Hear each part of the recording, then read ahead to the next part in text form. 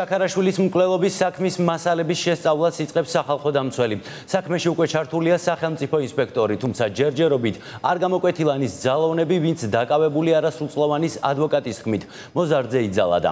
დღეს მომხდარიდან ფაქტობრივად ერთი თვის შემდეგ ჩაუტარდა არასრულწლოვანს ექსპერტიზა, რომელსაც ცხეთაში დაპირისპირებაში მისი მონაწილეობის საკითხი უნდა გამოევლინა. 18 ტომისგან შემდგარი საქმის ირგვლივ დაკითხების სერია გრძელდება შინაგან საქმეთა სამინისტროში, სადაც გიორგი შაქარაშვილის მეგობრები და ტრაგიკული წვეულების მონაწილეები ცხადდებიან. მათ შორის ზოგი განმეორებით. მეხუთედ გამოკითხული ამირხანაშვილის ჩვენება კი საქმეში ისევ არ არის, რის გამოც ადვოკატებს უჩნდებათ ეჭვი, რომ გამოძიება 109 მუხლით ცალკე მიმდინარეობს და ბრალდებული პროკურატურას ისევ არ ყავს. 18 ივნისის საბედისწერო დაბადების დღის სტუმრები გიორგი შაქარაშვილის მეგობრები დღეს შინაგან საქმეთა სამინისტროში დაკითხვაზე დაიბარეს. მოწმეების უმრავლესობა შენობას ისე ტოვებდა, რომ ჟურნალისტებთან არც გაჩერებულა. მედიის შეკითხვებს მხოლოდ ერთმა მათგანმა უპასუხა და თქვა, რომ გამომძიებლებმა ვიდეო კადრები აჩვენეს. რა მიზნით უცნობია.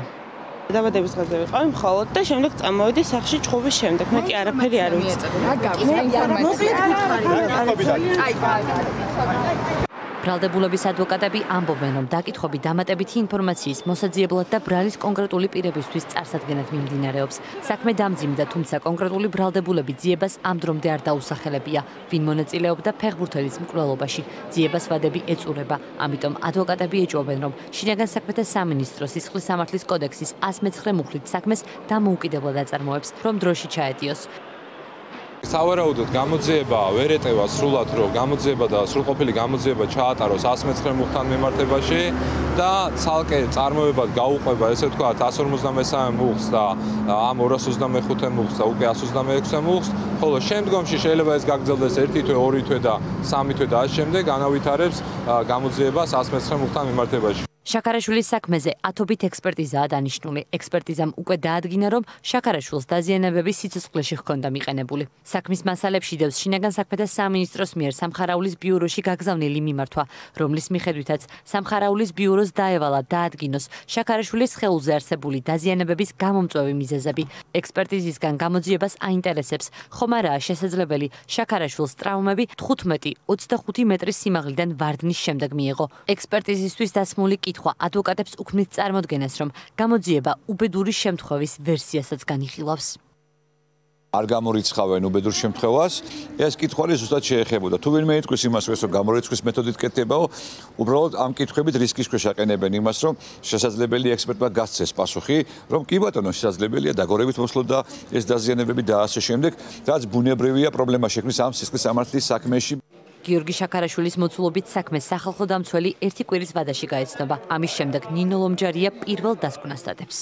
ძალიან გვინდა რომ ერთ კვირაში მაინც დასრულებული კონდეს საქმის მასალების შესწავლა, თუმცა ეს ჩვენი ყოველ შემთხვევაში ამ წუთას ვარაუდი არის, მაგრამ როგორც კი დავასრულებ, დავეცდებით რომ ეს იყოს ძალიან მალე, რა თქმა უნდა, ჩვენ პირველად მოსაზრებებს და შეფასებებს გავაცნობთ საზოგადოებაში. სახალხო დამცველის რეკომენდაციაა დროულად გაირკვეს ქონდა თუ არა ადგილი შაქარაშვილის საქმეში. ერთ-ერთი ფიგურანტის არასრულწლოვანი ბრალდებულის ზხს მიმართ სამართალდამცველების მხრიდან ფსიქოლოგიურ ზეწოლასა და ფიზიკურ ძალადობას. საქმეს სახელმწიფო ინსპექტორი იკვლევს თუმცა ლონდა თოლორაია შეკითხვებზე პასუხი ჯერ არ აქვს.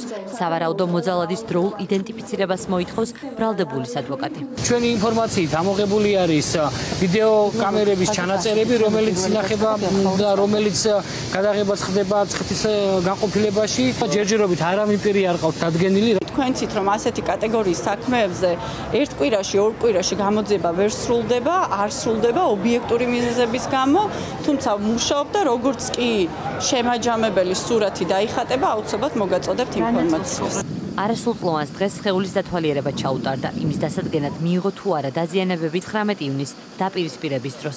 ზხ კონფლიქტში მონაწილეობას უარყოფს. ექსპერტებმა მომხდარიდან 28 დღის შემდეგ მის ხეულზე დათვალიერებით ძალადობის კვალი ვერ აღმოაჩინეს. რამდენად ასახავს რეალობას ექსპერტიზის პირველი შეფასება უცნობია.